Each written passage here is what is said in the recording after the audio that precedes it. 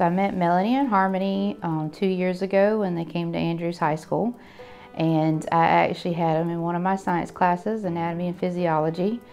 And they've been stuck with me pretty much ever since. So they've, they've been my little sidekicks since then. So they were both nominated for their extraordinary personalities because they have been through so much in their short amount of 18 years and they have went above and beyond the circumstances that they went through with their family and their upbringing and different things like that.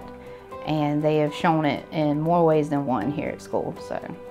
Harmony is in pretty much every sport here track basketball you name it she's in it. Um, anytime she anybody needs any help she is front and center ready to go.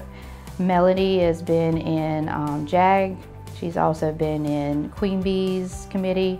She has also been in the student council as well. So she's shown hers in other extracurricular activities where Harmony shows hers and more the physical activities and sports. If you ever need them, if you ever need to call on them, they're there. Um, Melody and Harmony have never said no to anything. If they, between their academic, extracurricular, you name it, they put their heart, mind, and soul into everything that they do.